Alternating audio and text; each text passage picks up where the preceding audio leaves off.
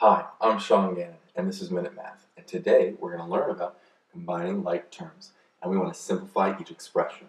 So, if I was given this expression, negative 9k plus 8k.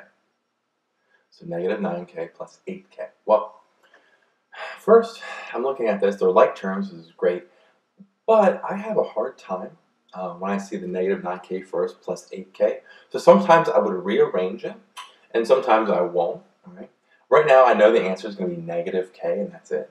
But let's see if we can get there. So let's go. Let's go rearrange this. Let's go rearrange it. So using the commutative property, I'm going to write it as 8k plus a negative 9k. Well, 8k plus a negative 9k. That's the same thing as you know 8k minus 9k, right? Adding a negative is the same thing as subtraction.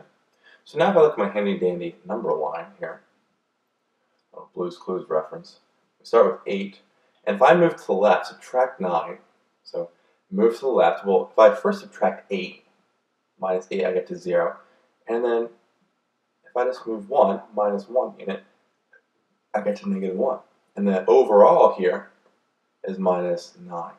And so my final answer here would be negative k. Now notice I didn't put a negative 1 up front. It's just negative k. Again, when we have one variable, we don't really write 1. It's just going to be k. So in this case, it's negative 1, so negative k. And that's our final answer. So let's recap. In this, in this uh, way of solving, I rearranged the negative 9k and 8k to be using the commutative property, 8k plus the negative 9k. Adding a negative is the same thing as subtraction, so I rewrote that to be 8k minus 9k. Then I kind of looked at my number line here and saw that if I subtract 8 from 8, I got 0, and one more, subtraction here, one more, I got me to negative 1. And so a total of subtracting 9 units, and so 8k minus 9k would just be a negative k without that 1 out front.